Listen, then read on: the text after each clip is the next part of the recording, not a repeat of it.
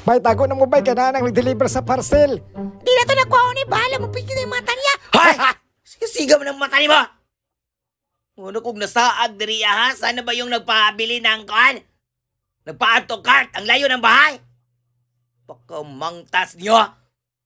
Kahit saan ako nagbabaktas-baktas dito, hindi ko makita kung saan yung address niya!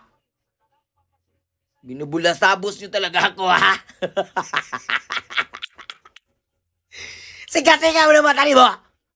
Ako si Donald Duck. Ay, Donald Duck. Dili ko unggoy ron, mga bobo. Ay mo pagbuot kung asa ko magawas.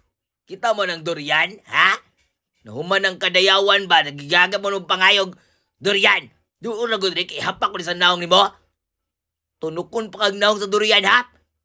Sig, mahinay ka na mo. Wow, rumi, gabay, ano yung mga batasan nga. Binuangan man ninyo mga rider. Pagtarang ba? Pitkan ko ng mga ilong nyo nga gahapa ron na. Siga ng mga mata niyo, basig.